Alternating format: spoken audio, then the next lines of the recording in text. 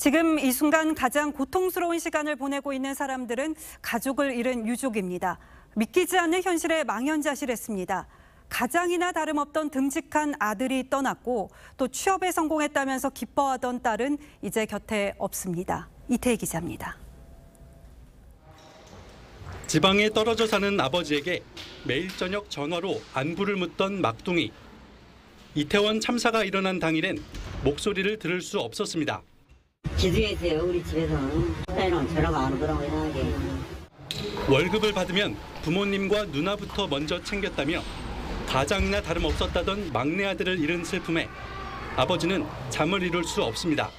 그런 아들이 없어요 진짜 내가 감사하다 못했어요 두 달 전 취업에 성공해 기뻐하던 딸의 모습이 아직도 눈에 아른거린다던 부모님은 더 이상 딸을 보듬을 수 없다는 현실이 도무지 믿기지 않습니다.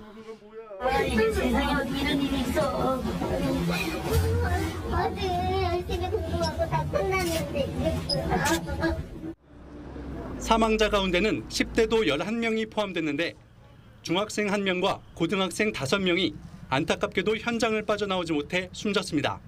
생일을 맞아 이태원을 찾았다 변을 당한 아들과 정규직이 됐다며 한턱 낸다고 친구들을 불렀다 참사를 피하지 못한 딸의 사연 등이 전해지며 안타까움을 더했습니다.